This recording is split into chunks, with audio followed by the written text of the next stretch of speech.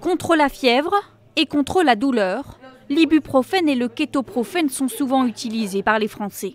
Pourtant, ces deux anti-inflammatoires, présents dans l'Advil, le Nurophène ou encore le Proféride, ne doivent pas être pris en cas d'infection. Ils risquent d'aggraver la situation. C'est le résultat d'une enquête de l'Agence nationale de sécurité du médicament. Ils peuvent retarder euh, la mise en œuvre des mécanismes de défense de l'organisme et d'autre part, ils, euh, vont masquer euh, les signes de l'infection. Hein. ils vont masquer la fièvre, ils vont masquer les douleurs, ils vont masquer une rougeur par exemple. Le diagnostic est alors retardé et l'infection s'aggrave.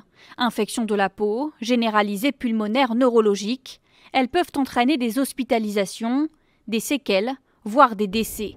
Entre 2000 et 2018, l'agence a noté 337 complications d'infection avec la prise d'ibuprofène. 32 patients sont décédés. La NSM recommande alors de privilégier la prise de paracétamol en cas de fièvre ou de douleur, surtout si vous êtes touché en même temps par une infection. Autre règle, ne jamais prendre deux médicaments de cette famille en même temps. Ne pas en prendre trop, et pas trop longtemps, pas plus de trois jours en cas de fièvre, et pas plus de 5 en cas de douleur.